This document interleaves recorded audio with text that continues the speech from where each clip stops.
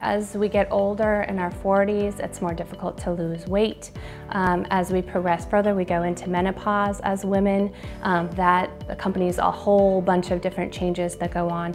Um, some of us become more at risk for osteoporosis, so it's really important that we maintain our exercise, that we also are involved in strengthening, and then again for the older adult, balance is very important to prevent falls. We really focus on being able to help transition women and whatever their symptoms are throughout that time frame. With the population that's undergoing menopause or is postmenopausal, they usually have decreased estrogen, which makes um, the pelvic region um, a, a little bit drier, um, it also makes it uncomfortable. So there's some tips that we can give patients to be able to help them be able to still participate in sexual intercourse, to be able to exercise within their capacity, and um, lead a healthy life where they have a good quality of life.